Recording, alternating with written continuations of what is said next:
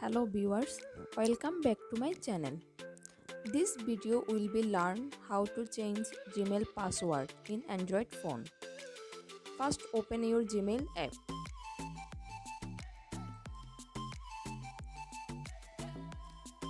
Then click your profile icon at the right top corner. Tap on manage your Google account.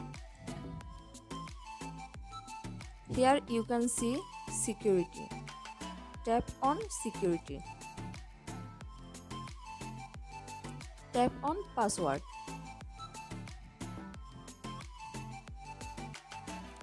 Here type your current password.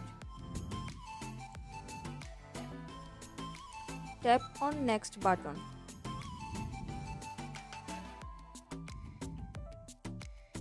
Here type new password.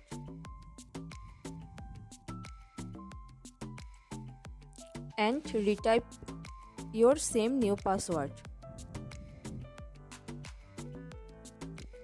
Click change password.